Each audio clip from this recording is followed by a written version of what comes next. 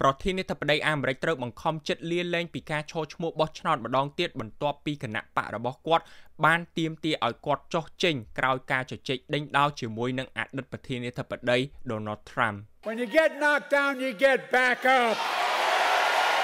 And I want to say to the team embrace her she's the best I want to call today to thank everybody Joe Biden's legacy of accomplishment over the past 3 years is unmatched in modern history I wouldn't have picked Vice President Trump to be Vice President ប្រធានាធិបតីអាមេរិកโจ Biden បានបោះបង់ការឈរឈ្មោះបោះឆ្នោតឡើងវិញកាលពីថ្ងៃអាទិត្យក្រោមសម្ពាធកាន់តែខ្លាំងឡើងពីសមាជិកបកប្រជាធិបតេយ្យរបស់គាត់ហើយបានគ្រប់គ្រងអនុប្រធានាធិបតី Kamala Harris ជាបេក្ខជនរបស់គណៈបកនេះដើម្បីប្រឈមមុខជាមួយនឹង Donald Trump ពីគណៈបកសាធារណរដ្ឋនៅក្នុងការបោះឆ្នោតខែវិច្ឆិកា អញ្ចឹងឥឡូវនេះបានប្រាប់ប៉ាបានប្រកាសជាសាធារណៈហើយថាគាត់នឹងមិនធ្វើជាប្រធានាធិបតីរបស់អាមេរិកម្ដងទៀតនោះទេឥឡូវនេះគឺជាអនុប្រធានាធិបតីរបស់គាត់នឹងមកជំនួសឲ្យគាត់វិញ បាទគឺមានឈ្មោះថា Kamala Harris បាទគឺនឹងធ្វើការប្រកួតប្រជែងជាមួយនឹង Donald Trump ប្រសិនបើគាត់ឈ្នះគឺគាត់អាចក្លាយទៅជាប្រធានាធិបតីរបស់អាមេរិក Biden ដែលមានអាយុ81ឆ្នាំជាប្រធានាធិបតីចាស់បំផុតដែលបានកាន់តំណែងនៅក្នុងការិយាល័យ Oval បាននិយាយថាលោកនឹងបន្តកាន់តំណែងជាប្រធានាធិបតីរហូតដល់អាណត្តិរបស់គាត់ត្រូវបានបញ្ចប់ អញ្ចឹងនៅពេលនេះគឺគាត់មិនមែនបានន័យថាចោះចេញពីការចូលឈ្មោះហ្នឹងគឺគាត់លែងคล้ายទៅជាប្រធានាធិបតីនោះទេ គឺគាត់នឹងបន្តធ្វើរហូតដល់អាណត្តិរបស់គាត់ហ្នឹងគឺត្រូវបានបញ្ចប់បាទគឺទៅដល់ថ្ងៃចុងក្រោយនៃអាណត្តិរបស់គាត់ណាបងប្អូនគឺដើមឆ្នាំ2025 បាទ Biden គឺមិនត្រូវបានគេមើលឃើញជាសាធារណៈចាប់តាំងពីបានធ្វើតេស្តវិជ្ជមានសម្រាប់ COVID-19 កាលពីសប្តាហ៍មុនដែលកំពុងតែនៅដាច់ដោយឡែកនៅឯផ្ទះរបស់គាត់នៅឯ Rehoboth បាទគឺនៅក្នុងរដ្ឋ Delaware Biden បានសរសេរថា while it has been my intention to seek re-election I believe it is in the best interest of my party and the country for me to stand down and to focus solely on fulfilling my duties as president for the remainder of my term បាទគឺមានន័យថាគណៈពេលដែលវាគឺជាចេតនារបស់ខ្ញុំបាទគឺជាចេតនារបស់ Biden ផ្ទាល់ហ្នឹងនៅក្នុងការឈរឈ្មោះបោះឆ្នោតឡើងវិញខ្ញុំជឿថា វាគឺល្អបំផុតសម្រាប់គណៈបករបស់ខ្ញុំនិងប្រទេសមួយនេះបើខ្ញុំដើរចេញគាត់បាននិយាយអញ្ចឹងនឹងផ្ដោតទៅលើការបំពេញតួនាទីជាប្រធានាធិបតីសម្រាប់អាណត្តិរបស់ខ្ញុំដែលនៅសល់អញ្ចឹងគឺគាត់នឹងធ្វើជាប្រធានាធិបតីរហូតទៅដល់ថ្ងៃទី20ខែ1ឆ្នាំ2025បាទគឺចិត្តដល់ហើយបងប្អូនគឺដើមឆ្នាំក្រោយនឹងឯង ការសម្រេចចិត្តនេះគឺកើតឡើងក្រោយការជជែកដេញដោលបាទគឺក្រោយការ debate ជាមួយនឹង Donald Trump កាលពីខែមុនណាបងប្អូនបាទគឺនៅថ្ងៃទី27ខែមិថុនារវាង Joe Biden ហើយនិង Donald Trump ដែលបានជំរុញឲ្យសមាជិកគណៈបកប្រជាធិបតេយ្យរបស់គាត់ ឲ្យគាត់បោះបង់ចោលគឺគាត់បាទប្រាប់គាត់ថាកុំឲ្យគាត់នឹងនៅឈរឈ្មោះជាប្រធានាធិបតីដើម្បីคลายទៅជាប្រធានាធិបតីរយៈពេល4ឆ្នាំទៅមុខទៀតប្រសិនបើគាត់ឈ្នះឆ្នោតណាបងប្អូនគឺសមាជិកគណៈបករបស់គាត់ផ្ទាល់បានប្រាប់ឲ្យគាត់ចុះចេញទៅ Look if we finally beat Medicare បាទដោយសារតែនៅពេលនេះ គឺគាត់មានអាយុច្រើនហើយបងប្អូននិយាយទៅគឺជារាគឺគាត់ចាស់បាទហើយសុខភាពរបស់គាត់ហ្នឹងក៏មិនល្អក៏មិនសូវរឹងមាំដូចកាលពីមុនដែរគឺទ្រុឌទ្រោមបងប្អូនដោយសារតែសម្ពាធកាន់តែខ្លាំងឡើងពីគណៈបករបស់ Biden ផ្ទាល់ហ្នឹងបងប្អូនទើបធ្វើឲ្យ Biden កាលពីថ្ងៃអាទិត្យហ្នឹងក៏បានចេញលិខិតមួយជាសាធារណៈថាគាត់នឹងលែងឈរឈ្មោះទៀតហើយបងប្អូនគឺឲ្យ Vice President របស់គាត់គឺឲ្យអនុប្រធានាធិបតីរបស់គាត់នេះ មកជំនួសគាត់វិញបាទគឺអាចនឹងคล้ายទៅជាប្រធានាធិបតីប្រសិនបើនៅក្នុងខែ11នេះអាចយកឈ្នះបាទគឺទទួលបាននៅសម្លេងច្រើនពីប្រជាជនដែលបានបោះឆ្នោតឲ្យបាទលោកស្រីដែលមានឈ្មោះថា Harry សម្នាក់នេះហ៎បងប្អូនក៏ប៉ុន្តែឥឡូវយើងចាំមើលសិនទៅមិនទាន់ដឹងនៅឡើយនោះទេហើយកាលពីថ្ងៃទី13ខែ7គឺមានខ្មាន់កភ្លើងចង់ធ្វើឃាតបាទគឺចង់សម្លាប់អតីតប្រធានាធិបតី Donald Trump ដែលមានអាយុ78ឆ្នាំនេះហ៎បងប្អូន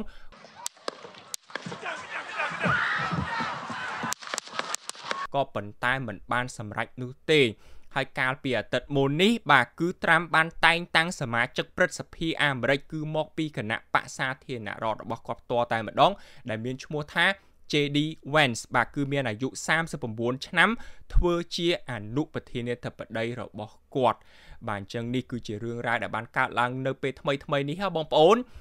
ហើយបន្ទាប់ពីការ debate បាទរវាង Donald Trump ជាមួយនឹង Biden នេះ គឺរយៈពេល3អាទិត្យក្រោយមកបាទគឺឃើញថា Biden នេះគឺគាត់កំពុងតែបន្តប្រកួតប្រជែងជាមួយនឹងអតីតប្រធានាធិបតី Donald Trump ហ្នឹង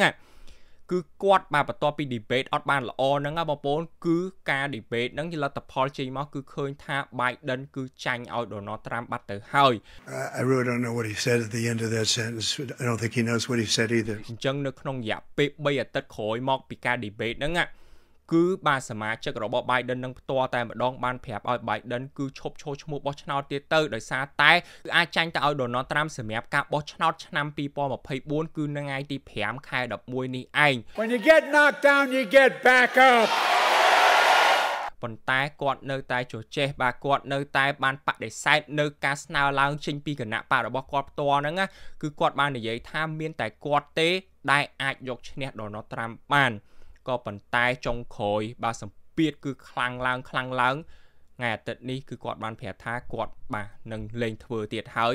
អញ្ចឹងរយៈពេលក្រោយការ debate 3អាទិត្យទៅការសម្រេចចិត្តមួយនេះបានកើតឡើង បាទគឺនៅថ្ងៃអាទិត្យពេលថ្ងៃត្រង់ណាបងប្អូន កាលពីថ្មីថ្មីនេះ Biden ក៏បានច្រឡំហៅប្រធានាធិបតីអ៊ុយក្រែន Zelensky ហ្នឹងណាបងប្អូន ទៅជាពូទីនទៅវិញ Ladies and gentlemen, President Putin. President Putin. You can beat President Putin. President Zelensky. ហើយបាទមួយទៀតនោះគឺបាទ Biden នេះក៏បានច្រឡំហៅ Harris ថាជា Vice President បាទថាជាអនុប្រធានាធិបតីរបស់ Donald Trump ទៅវិញ I wouldn't have picked Vice President Trump to be Vice President that I think she was not qualified to be president. តាមពិតទៅគឺជាអនុប្រធានាធិបតីរបស់គាត់ផ្ទាល់ហ្នឹងណាបងប្អូន Harris ដែលឥឡូវនេះគឺឈរឈ្មោះបាទដែលអាចប្រកួតឈ្នះបើសិនជាឈ្នះនៅ Donald Trump គឺគាត់អាចនឹងក្លាយទៅជាប្រធានាធិបតីហ្នឹងណាបងប្អូន បាទហើយអនុប្រធានាធិបតី Kamala Harris ដែលកំពុងទទួលបានការគាំទ្រពីសមាជិកប្រជាធិបតេយ្យសម្រាប់ការឈរឈ្មោះជាប្រធានាធិបតីភ្លាមៗនោះ បានប្រមូលផ្ដុំអ្នកគាំទ្រកាលពីថ្ងៃច័ន្ទជាលើកដំបូងដោយបដិញ្ញាថានឹងយកឈ្នះ Donald Trump អញ្ចឹងកាលពីម្សិលមិញនេះគឺមានការប្រមូលផ្ដុំគឺមានអ្នកគាំទ្ររបស់គាត់ហ្នឹងណា បានទៅកាន់កន្លែងថ្លែងសន្ទរកថារបស់គាត់តតែម្ដងគឺស្ដាប់គាត់និយាយតែម្ដងណាបងប្អូននៅក្នុងរយៈពេលប៉ុន្មាននាទីនៃការទទួលស្គាល់ពីការគ្រប់គ្រងពី Biden កាលពីថ្ងៃអាទិត្យអញ្ចឹង Biden គឺបានទទួលស្គាល់ហើយបាទគឺបាន គ្រប់គ្រងទៅដល់ Harris នេះធ្វើជាបាទមានលទ្ធភាពនៅក្នុងការធ្វើជាប្រធានាធិបតីនឹងហើយបាទគឺមាននិយាយទៅគឺបើកភ្លើងខៀវពី Biden ណាបងប្អូនលោកស្រី Harris បានចាប់ផ្ដើមទទួលបានការគ្រប់គ្រងពីសមាជិកគណៈបកប្រជាធិបតេយ្យដែលរួមមានអតីតប្រធានសភា Nancy Pelosi បាទអញ្ចឹងគឺមានការគ្រប់គ្រងពីអ្នកដែលមានគេឈ្មោះល្បីល្បីនៅចេញពីគណៈបករបស់គាត់ហើយនឹងអ្នកល្បីល្បីបាទផ្សេងផ្សេងជាច្រើនទៀតណាបងប្អូនក៏បានគ្រប់គ្រងការសម្រេចចិត្តបាទដែលឲ្យបាទ Harris នេះគឺជាបេក្ខជនប្រធានាធិបតីផងដែរបាទគឺយុទ្ធនាការរបស់ Harris បានរៃអង្គាសប្រាក់ចំនួន 81លានដុល្លារនៅក្នុងរយៈពេលត្រឹមតែ24ម៉ោងបន្ទាប់ពីការចាក់ចែងរបស់លោក Biden ដែលជាចំនួនច្រើនបំផុតនៅក្នុងមួយថ្ងៃក្នុងយុទ្ធនាការឆ្នាំ2024អញ្ចឹងនៅក្នុងឆ្នាំ2024នេះមិនថាគណៈបកប្រជាធិបតេយ្យឬក៏គណៈបកសាធារណរដ្ឋនោះទេ គឺមិនដែលមានពេលណាដែលអាចរៃអង្គាសប្រាក់នៅក្នុងរយៈពេលដ៏ខ្លីនៅក្នុងរយៈពេលតែ24ម៉ោងនេះហ៎បងប្អូនរៃអង្គាសបានទៅដល់ 81លានដុល្លារនោះទេនេះគឺជាលើកទី1ហើយបងប្អូន គឺឃើញថាមានការគ្រប់គ្រងច្រើនណាបងប្អូនបន្ទាប់ពីបាទ Harris នេះទទួលបានការគ្រប់គ្រងពី Biden And I want to say to the team, embrace her. She's the best. I want to call today to thank everybody, everybody in this effort. Harris បានសរសើរ Biden សម្រាប់សេវាកម្មរបស់គាត់នៅក្នុងប្រទេសនេះលោកស្រីបាននិយាយថា Joe Biden's legacy over the past 3 years is unmatched in modern history Joe Biden's legacy of accomplishment over the past 3 years is unmatched in modern history ដែលមានន័យថាគេដំណើររបស់ Joe Biden នៅក្នុងរយៈពេល3ឆ្នាំចុងក្រោយនេះគឺមិនអាចប្រៀបផ្ទឹមបាននៅក្នុងប្រវត្តិសាស្ត្រទំនើបគឺចង់និយាយថា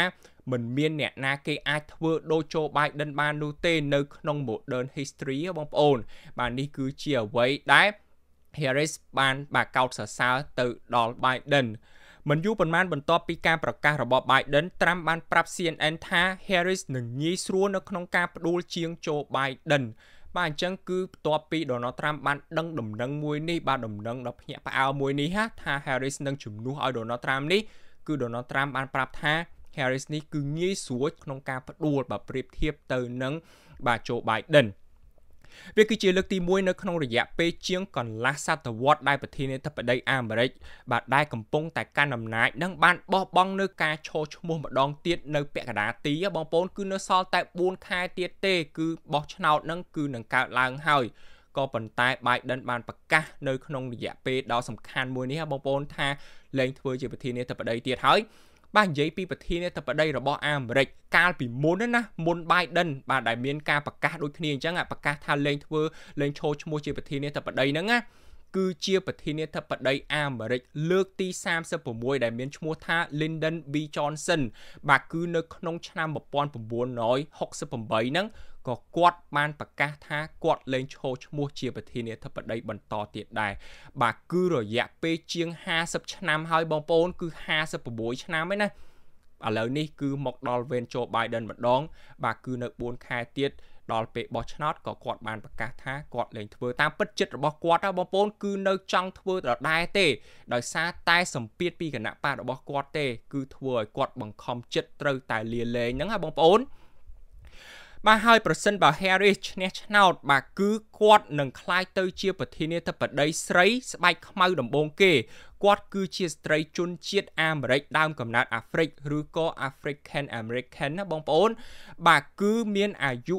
59ឆ្នាំហើយនៅឆ្នាំនេះគាត់ជាអតីតអគ្គរដ្ឋាភិបាលនៃរដ្ឋ California ហើយនឹងជាអតីតសមាជិកព្រឹទ្ធសភាអាមេរិកលោកស្រីបានឈរឈ្មោះជាប្រធានាធិបតីប្រឆាំងទៅនឹង Biden នៅក្នុងឆ្នាំ2020ផងដែរ ក៏ប៉ុន្តែគឺគាត់អត់អាចយកឈ្នះ Joe Biden នោះទេគឺគាត់អត់អាចជោគជ័យទេប្រសិនបើការនោះគឺគាត់អាចយកឈ្នះ Biden បានណាគឺនៅពេលនេះហ่าបងប្អូនគាត់នឹងគឺជាប្រធានាធិបតីអាមេរិកបាត់ទៅហើយក៏ប៉ុន្តែឥឡូវនេះគឺគាត់មានសិទ្ធិចូលឈ្មោះហើយយើងចាំមើលបន្តទៀតទៅមុខបងប្អូននៅក្នុងខែ11នេះថាតើគាត់អាចយកឈ្នះ Donald Trump បានដែរឬអត់ បាទ Harris បាននិយាយនៅក្នុងសេចក្តីថ្លែងការណ៍មួយថាខ្ញុំនឹងធ្វើអ្វីគ្រប់យ៉ាងនៅក្នុងអំណាចរបស់ខ្ញុំដើម្បីបង្រួបបង្រួមគណៈបកប្រជាធិបតេយ្យនិងបង្រួបបង្រួមជាតិរបស់ខ្ញុំដើម្បីកម្ចាត់ Donald Trump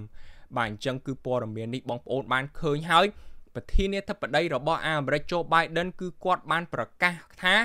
គាត់នឹងលែងឈរឈ្មោះដើម្បីក្លាយទៅជាប្រធានាធិបតីទៀតហើយនេះគឺដោយសារតែគណៈបករបស់គាត់ផ្ទាល់បងប្អូនគឺចំនួននៃការហៅឲ្យគាត់ចោះចេញហៅឲ្យគាត់លាលែងបាទគឺឈប់ឈរឈ្មោះបោះឆ្នោតនេះហាគឺកាន់តែច្រើនឡើងច្រើនឡើងរហូតដល់